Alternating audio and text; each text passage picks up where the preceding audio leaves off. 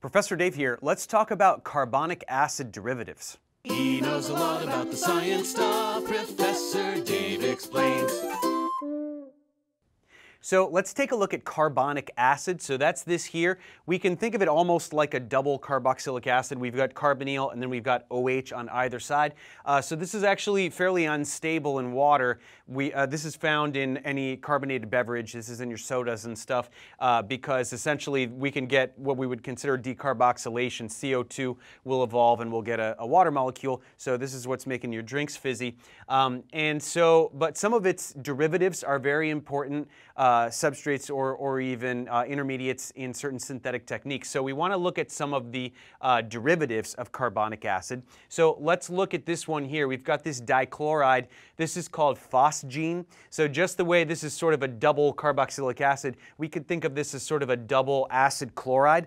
Uh, this is a highly toxic gas. This was actually used in World War II as a chemical weapon for a little while. Um, and so from phosgene, we can actually do a lot of things. We can react phosgene with an alcohol, like say methanol, and that can give us a carbonate. So this is a dimethyl carbonate. Uh, this is essentially like a double ester. We could think of it as an ester over here and an ester over there. So we've got OR and OR on either side of a carbonyl. And then we can react uh, phosgene with an amine, uh, like ammonia, to generate a urea. And so uh, this is just this is just urea, but there are other ureas. We can replace hydrogen with uh, alkyl, and those would also be considered ureas. But this is just called urea. Uh, this is a natural product in your body, and so we've got this is essentially like a double amide, right? We've got uh, we've got amine on either side of the of the carbonyl. So that is urea. So these are all symmetrical derivatives, right? We've got double acid chloride, double ester, double amide, but we can also have asymmetric, uh, we can have asymmetric molecules. This is called a urethane, or it can also be called a carbamate. And so we've got OR, and then we've got amine, so it's sort of like an ester and an amide combined is essentially what that is. And then we've got a chloroformate. So chloroformate, chloroformate we've got OR and we've got Cl. So this is essentially like an ester and an acid chloride combined. So these are your uh, derivatives of carbonic acid. So these are useful. These have a lot of different utilities. Um, Let's quickly look at urea synthesis. So we want to know how to make ureas. Uh, as we said, we can go from phosgene to some urea. And so let's quickly get a closer look at that so we can understand how that's done. So let's say we've got phosgene, we're going to react with some amine, maybe not ammonia, but maybe uh, a primary amine of some kind. Um, we know that that's going to be able to attack uh, here. And so we've got a situation where the amine has displaced uh, one of those chlorines. And now, so let's take another equivalent of this amine, and uh, what we can do is this, going, this is going to grab this proton here, and then this will form a second bond between nitrogen and carbon, and that'll kick off this chlorine. And so that gets us to this here. So we've got a double bond between nitrogen and carbon, and we've got we've still got that carbonyl there. And so this is called an isocyanate. So this is an isocyanate here. That refers to this uh, functional group here. And now what we can do with the isocyanate is we can have another equivalent of that amine attack. And we know that this is going to go ahead and attack here.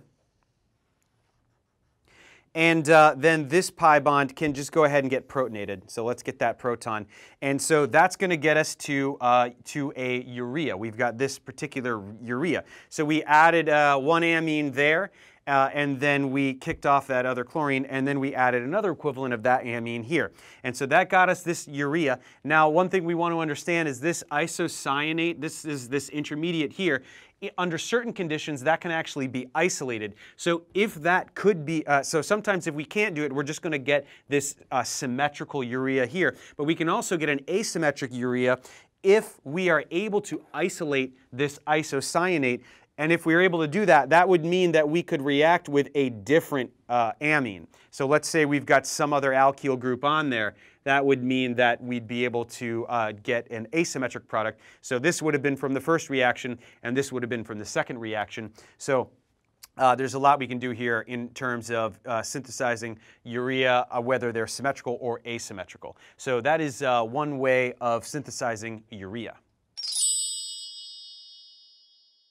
So we just looked at one way to synthesize ureas. So now let's look at some ways we can get other carbonic acid derivatives. Uh, one of these ways is going to involve generating something called an acylnitrene. So let's look at how we're going to do that.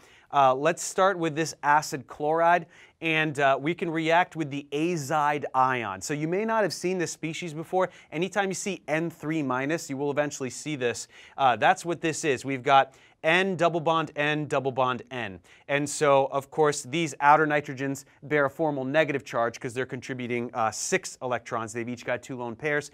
And then this central one has a formal positive charge. It's only contributing four. And so uh, this obviously is going to be able to attack the carbonyl carbon, and we're going to get this acyl azide. So this acyl azide is quite unstable, and what can happen is it's very, uh, it's very energetically favorable to lose N2. This is just nitrogen gas. So if this, if this uh, bond leaves with this nitrogen right here, that's going to neutralize that nitrogen, and we're just going to get N2. But the other thing we're going to do, and uh, especially if we heat this up a little bit, this is what's going to happen. So uh, what we're left with is this acylnitrene. Now this is a bit of a strange species because if you look at this nitrogen, uh, this does not have a full octet, right? We've got this bond and we've got two lone pairs. So it is, uh, it is neutral. It does not have a formal charge but it does not have a full octet. So this is an extremely uh, unstable compound. It's a highly reactive compound.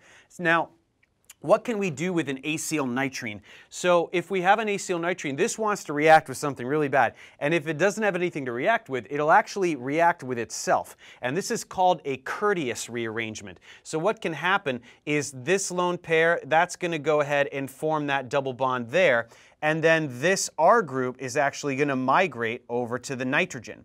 And so now this uh, this alkyl group that was connected to the carbonyl carbon is now connected to the nitrogen instead, and we've formed that uh, CN double bond as well. So we've got, we've got our isocyanate, and this is a very powerful synthetic technique because we've completely rearranged the molecule. The R group and now instead of being attached to the carbonyl is on the other side of that nitrogen. So that's quite an interesting transformation.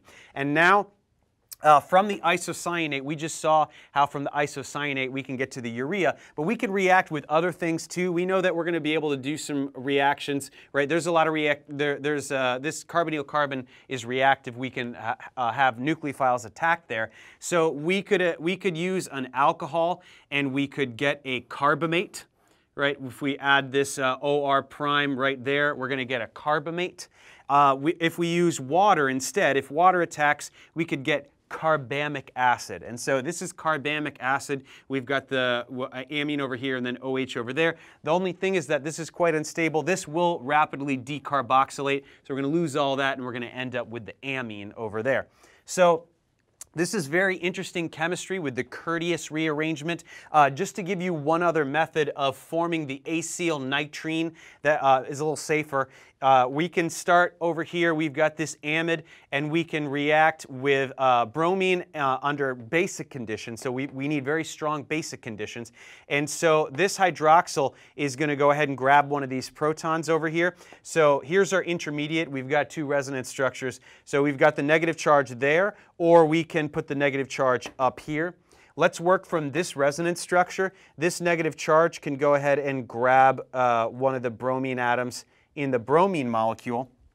And so now we're here, right? Bromine is attached to nitrogen right there. And now, again, we're in strongly basic conditions. So actually, another, uh, another hydroxide can grab this proton, and then uh, this will stay here, and this will leave. So what we've done here is we've formed a nitrene again. So that bromine is gone. This nitrogen already had a lone pair. It now has an additional lone pair from these electrons in the nitrogen-hydrogen bond, and we have formed a nitrene in another way. So these are very interesting uh, uh, intermediates that can be used to do some interesting chemistry, uh, be it the Curtius rearrangement or otherwise. So that's a little bit about uh, how to synthesize carbonic acid derivatives. Thanks for watching, guys. Subscribe to my channel for more tutorials. Support me on Patreon so I can keep making content. And as always, feel free to email me, ProfessorDaveExplains at gmail.com.